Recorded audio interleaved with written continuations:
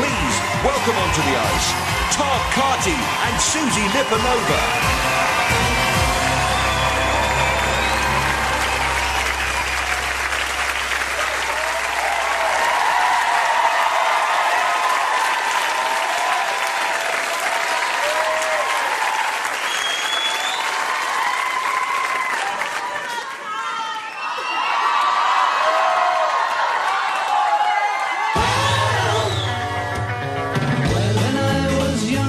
Much younger than today.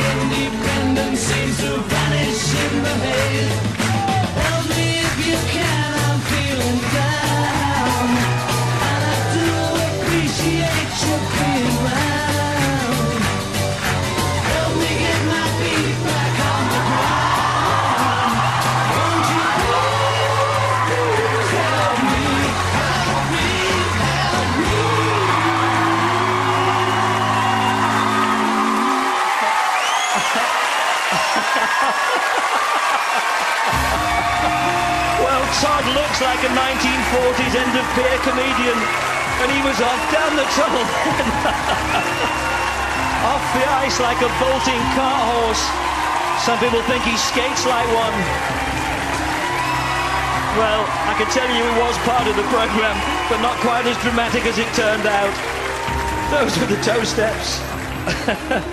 well, how long can he continue to defy logic and gravity? That's the spiral.